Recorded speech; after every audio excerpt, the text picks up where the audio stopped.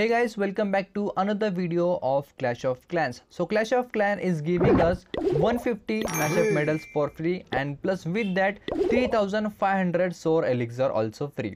So make sure to watch this video till end because in this video I am going to share you how you can claim these two rewards from free which Clash of Clan is providing us okay so uh, make sure to like this video if you're new to my channel please subscribe and share this video with all your friends who are playing clash of clans nowadays. So currently you can see i have zero mashup medals and my soar elixir is 2400 okay so the video which you're uh, watching right now just click on that uh, video description and there you will get a link. Just click on that link and boom uh, it will direct you to this page. Just click on uh, i have clash of clans only. And it will uh, you know uh, pop up a new window for you. Just claim reward.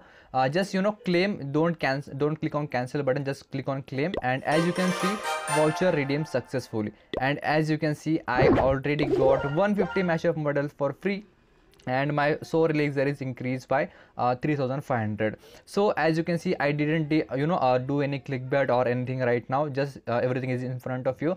And guys uh, most important i don't know the limit of that link means how much how many players can redeem that uh, you know reward. So i will suggest if you are watching this video just you know directly go on link and claim your reward. If you're lucky you may get. And if not the link may get expired soon. Okay so that's it for this video. I will meet you in the next video. Please subscribe to my channel and like this video and see you. Bye bye